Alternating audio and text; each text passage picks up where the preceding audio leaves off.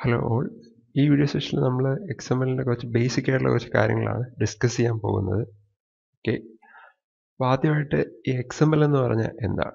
Okay X M L stands for extensible markup language okay അപ്പോൾ X M എല്ലിന്റെ full form എന്ന് പറയുന്നത് നമ്മൾ എക്സ്റ്റെൻസിബിൾ മാർക്കപ്പ് ലാംഗ്വേജ് എന്നാണ്. ഈ എക്സ് എം എൽ എന്ന് പറയുന്ന ഒരു മാർക്കപ്പ് ലാംഗ്വേജ് ആണ്. ഓക്കെ അപ്പം കുറേ ടാക്സ് ഒക്കെ വെച്ചായിരിക്കും നമ്മൾ എഴുതുന്നത്. നമ്മൾ എച്ച് ടി എം എൽ പോലെ തന്നെ ഒരു മാർക്കപ്പ് ലാംഗ്വേജ് ആണ് ഈ എക്സ് എം എൽ എന്ന് പറയുന്നത്. ഓക്കെ ഇപ്പോൾ എക്സ് എം എല്ലിൽ മെയിനായിട്ട് ക്രിയേറ്റ് ചെയ്യാനുള്ള കാരണം എന്ന് പറഞ്ഞു കഴിഞ്ഞാൽ മെയിനായിട്ട് ഡേറ്റ സ്റ്റോർ ചെയ്യാനും ട്രാൻസ്പോർട്ട് ചെയ്യാനുമാണ് എന്ത് ഉപയോഗിക്കുന്നത് ഈ ഒരു എക്സ് എം എൽ ഉപയോഗിക്കുന്നത്.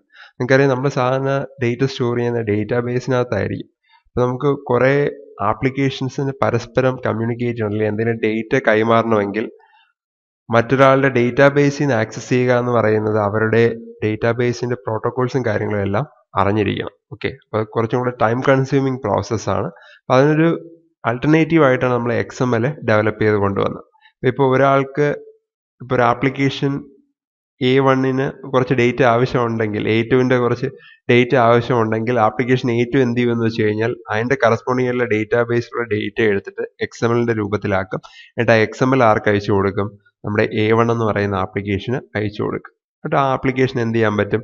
ഈ എക്സ് എം എല്ലിനെ പാഴ്സ് ചെയ്ത് ഡേറ്റ എടുക്കാൻ പറ്റും.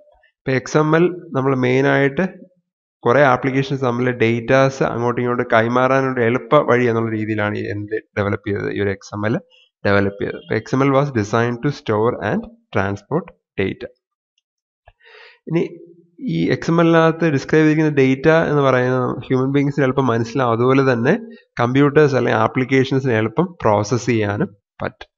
ഓക്കെ ഇനി അടുത്ത് നമ്മൾ എച്ച് ടി എം എല്ലും എക്സ് എം എല്ലും തമ്മിലുള്ള കുറച്ച് ഡിഫറൻസസ് നോക്കാം.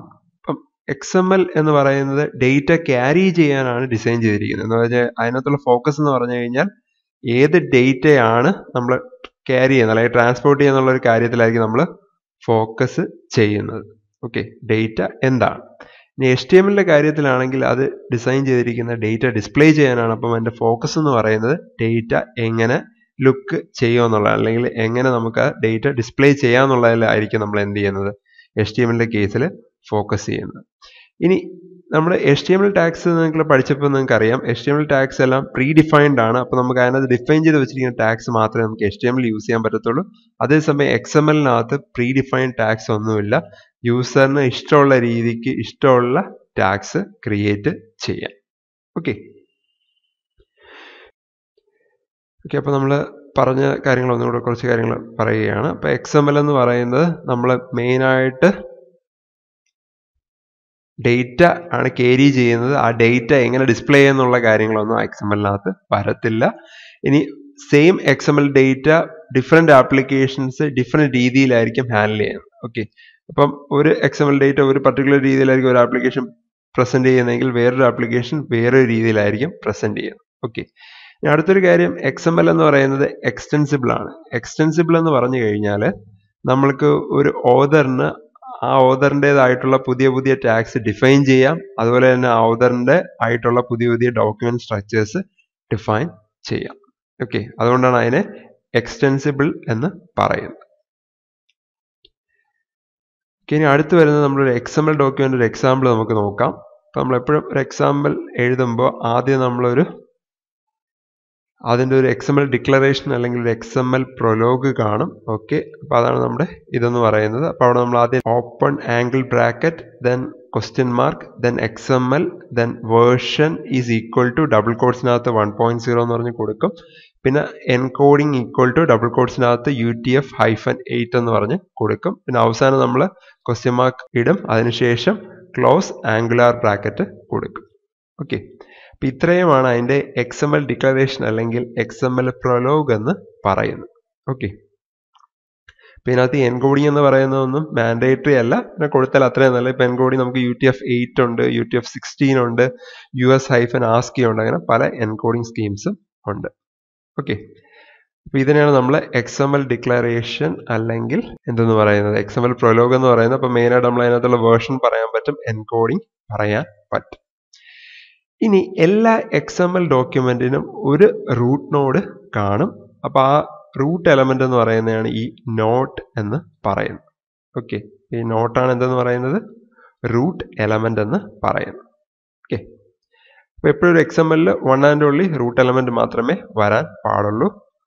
ഇതാണ് അതിന്റെ ഓപ്പണിംഗ് ടാഗ് ഇതാണ് അതിന്റെ ക്ലോസിംഗ് ടാഗ് അപ്പം എപ്പോഴും എക്സ് എമ്മിൽ കൺസിഡർ ചെയ്യുമ്പോൾ ഒരു ഓപ്പണിംഗ് ടാഗ് ഉണ്ടെങ്കിൽ കറസ്പോണ്ടിങ് ആയിട്ടൊരു ക്ലോസിംഗ് ടാഗും വേണം. അല്ലെങ്കിൽ സ്റ്റാർട്ടിംഗ് ടാഗ് ഉണ്ടെങ്കിൽ ഒരു എൻഡിങ് ടാഗും വേണം. ഓക്കെ അത് നമ്മുടെ എക്സ് എം എല്ലിൽ മാൻഡേറ്ററി ആണ്. ഈ നോട്ട് എന്ന് പറയുന്നത് ഒരു യൂസർ ഡിഫൈൻഡ് ആയിട്ടുള്ള ഒരു ടാഗ് ആണ്. അപ്പോൾ അത് നിങ്ങൾക്ക് ഇഷ്ടമുള്ള രീതിയിൽ നമുക്ക് പേര് കൊടുക്കാം. എപ്പോഴും നമ്മൾ എന്ത് പർപ്പസിന് വേണ്ടിയാണ് ഉപയോഗിക്കുന്നത് അതുമായിട്ട് റിലേറ്റ് ചെയ്തിട്ട് പേര് കൊടുക്കുന്നതായിരിക്കും നല്ലത്. ഓക്കെ അപ്പം ഇനി ഈ നോട്ടിനകത്ത് വരുന്ന എല്ലാ സബ് എലമെൻസിനെ നമ്മൾ പറയുന്ന പേരാണ് ചൈൽഡ് എലമെൻസ് എന്ന് പറയും ഓക്കെ അപ്പം ഈ നോട്ടിന്റെ ചൈൽഡ് എലമെന്റ്സ് ആണ് എന്തെന്ന് പറയുന്നത്? To from heading body okay അപ്പോൾ ഈ നോട്ട് എന്ന് പറയുന്ന റൂട്ട് എലമെന്റ് ആണ്. അപ്പോൾ റൂട്ട് എലമെന്റ് ചൈൽഡ് എലമെന്റ്സ് ആണ് ഈ ടു എന്ന് പറയുന്നത്. ഫ്രം എന്ന് പറയുന്നത് ഹെഡിങ് എന്ന് പറയുന്നത് ബോഡി എന്ന് പറയുന്നത്. ഇപ്പൊ ടുവിനകത്ത് ജോൺ ഫ്രമിൽ Jani heading reminder ബോഡിയിനകത്ത് don't forget me this weekend okay അപ്പം ഇത്രയും കാര്യങ്ങളാണ് അതിനകത്ത് പറഞ്ഞിരിക്കുന്നത്.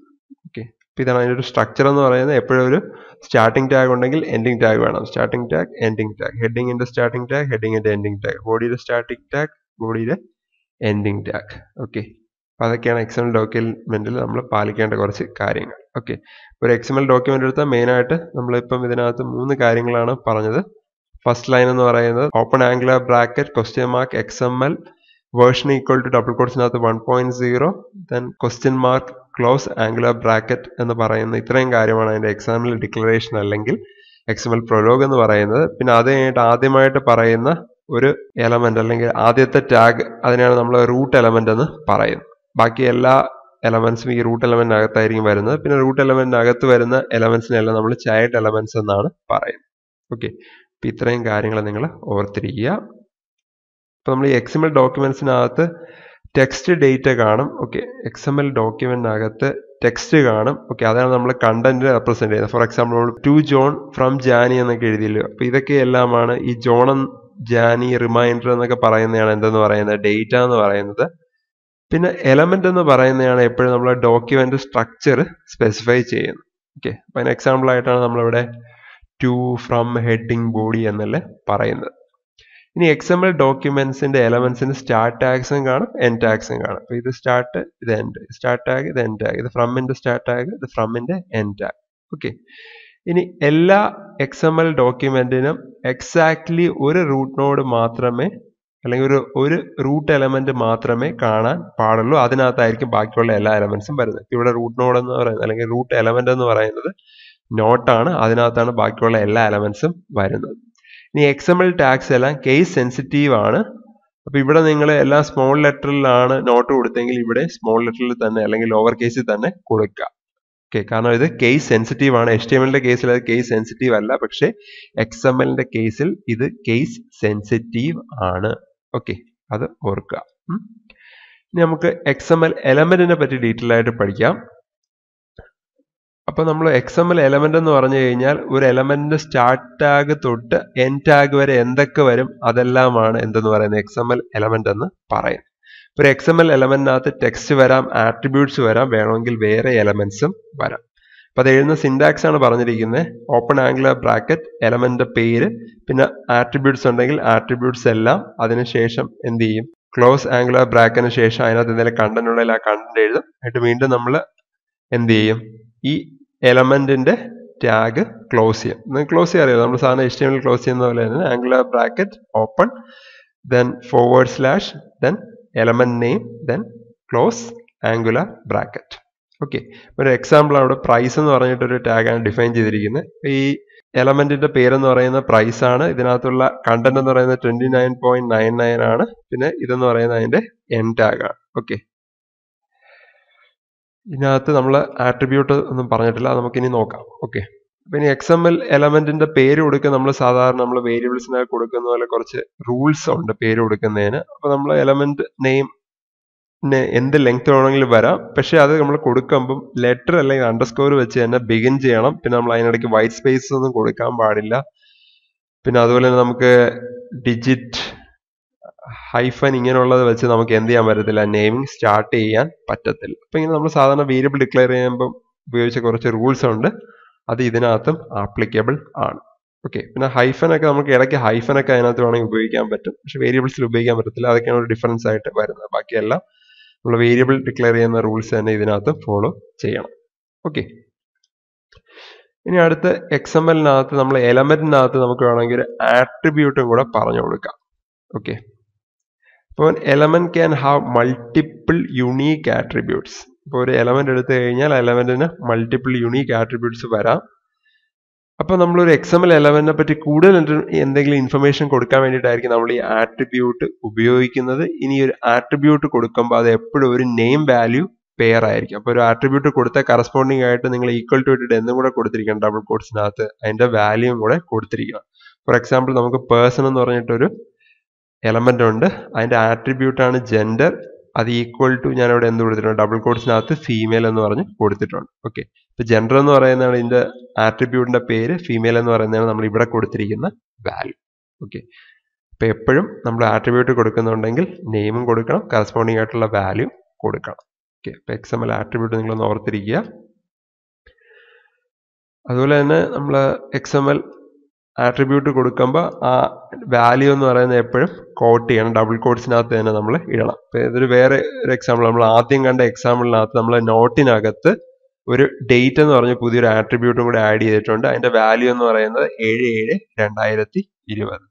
ഓക്കെ അപ്പോൾ നമുക്ക് ഇങ്ങനെ ആട്രിബ്യൂട്ട്സ് വേണമെങ്കിൽ സ്പെസിഫൈ ചെയ്യാം. ഇപ്പോൾ ഇവിടെ ഒരു എക്സ്ട്രാ ഇൻഫർമേഷൻ നമ്മൾ കൊടുത്തത് നോട്ട് നമ്മൾ എഴുതിയത് ഏഴ് ഏഴ് രണ്ടായിരത്തി ഇരുപത് എന്ന് പറഞ്ഞാണ് നമ്മൾ ഇതിനകത്ത് കൊടുത്തത്.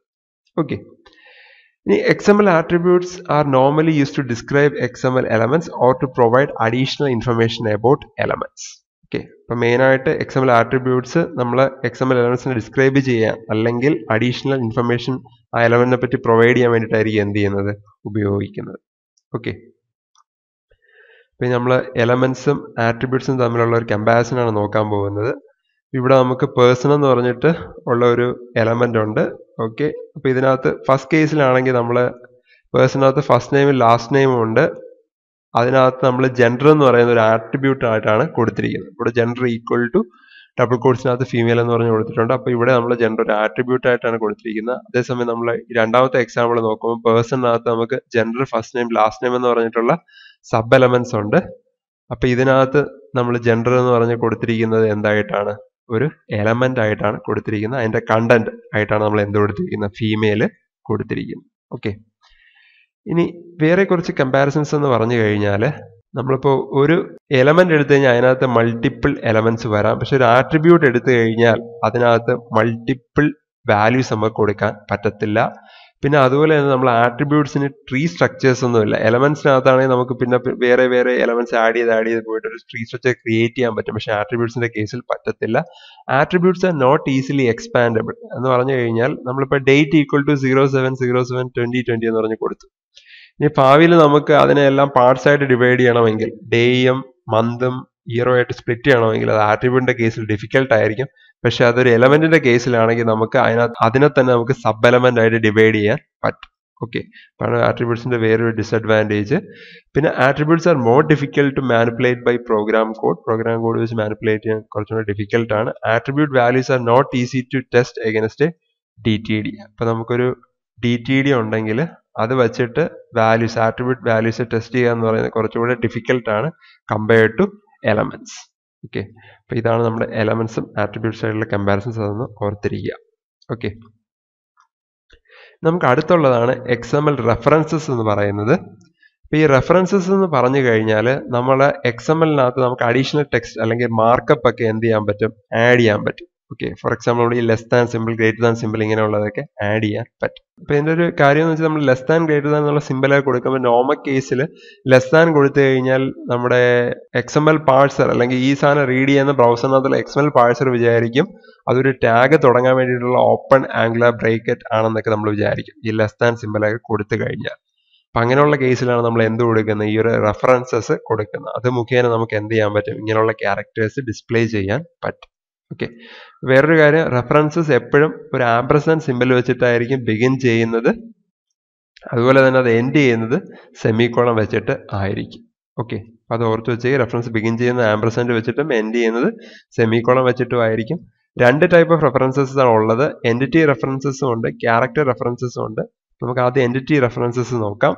ഇതിനകത്ത് നമുക്കൊരു മെസ്സേജിൽ സാലറി ലെസ് ദാൻ തൗസൻഡ് എന്ന് പറഞ്ഞാണ് സ്റ്റോർ ചെയ്യുന്നതെങ്കിൽ കൊടുത്തു കഴിഞ്ഞാൽ ഇവിടെ ഈ ഒരു ഓപ്പൺ ആംഗുലർ ബ്രാക്കറ്റ് നമ്മുടെ പാഴ്സൽ എന്തായിട്ട് എടുക്കും? പുതിയൊരു ടാഗിന്റെ അല്ലെങ്കിൽ എലമെന്റ് ഓപ്പണിംഗ് ആയിട്ട് എടുക്കും. അപ്പോൾ അത് എന്ത് ചെയ്യും? എറർ കാണിക്കും.